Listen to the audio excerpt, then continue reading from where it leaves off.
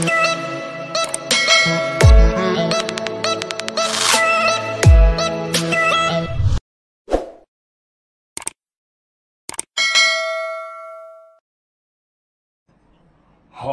Welcome to my channel. At kung bago ka lang dito ay huwag kalimutang mag-subscribe at pindutin lang ang notification bell para lagi kayong updated sa aking mga bagong math tutorial videos.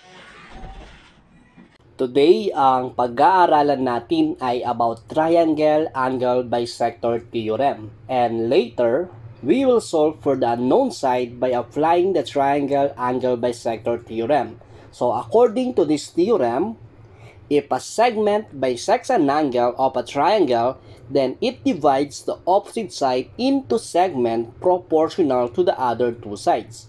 Try natin class dito sa triangle AHE. Tapos, lagyan natin ng segment na humahati sa angle AHE. At tawagin natin ito class na line segment HD or line segment DH.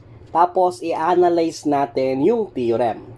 If a segment bisects an angle of a triangle, so kung ang segment daw ay hinati ang angle ng triangle, katulad nitong ginawa natin, then it divides the opposite side into segment proportional to the other two sides. So, ibig sabihin class, itong opposite side na ito ay nahati sa dalawang segment. So, nagkaroon tayo class ng segment AD and segment DE. At itong segments na ito ay proportional sa dalawa pang sides ng triangle, which is segment AH, so ito po, and segment HE. At para mas lalo nyong maintindihan, ipakita natin gamit ang if and then. So if line segment BH bisects angle AHE, then segment AD over segment ED is proportion to segment AH over EH. Now, let's solve for the unknown side using triangle angle bisector theorem. So una, gawan muna natin class ng proportionality statement. So BD over AD is equal to BC over AC. Then, substitute lang natin yung given. So magkakaroon tayo class ng 25 over 15 is equal to x over 18. So tingnan natin class saan ba galing yung 25 over 15. So, kanina class sa proportionality statement natin, BD over AB. So, sabi natin, isa-substitute lang natin yung given. So, ito class yung ating BD. So, 25. Ito naman class yung ating AD, 15. Kaya po meron tayong 25 over 15. So, yung BC naman class is X. And then, yung ating AC is 18. So, pag na-substitute na natin class, pwede na nating i-apply yung cross product property. So, sa cross product property, 25 times 18. And 25 times 18 is equal to 450. Next is 15 times x is 15x. After that, i-divide naman natin class yung both sides ng equation by 15. So, dito, makukuha na natin yung value ng x. x is equal to 30. Okay, another example. Triangle EFG bisects by segment FH. So, gawan lang ulit natin class ng proportionality statement. So, yung proportionality statement natin dito is GH over EH is equal to FG over FE.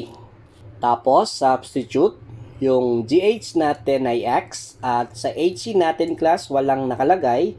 Pero since yung GE is equal to 10, so pwede nating ilagay sa EH ay 10 minus X and equal to 6 over 9.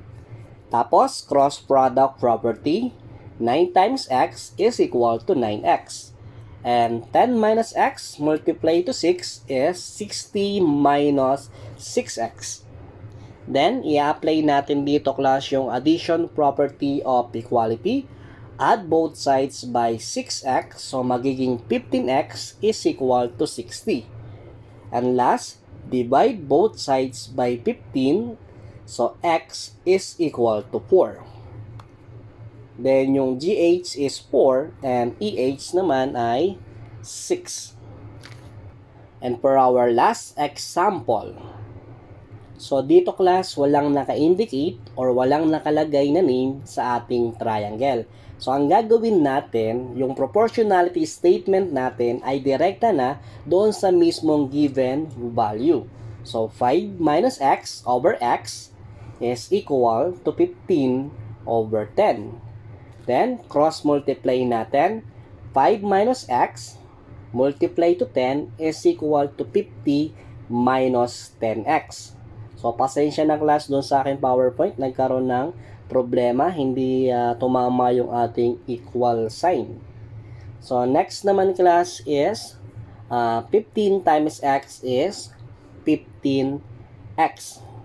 Pagkatapos, i-apply natin class yung addition property of equality.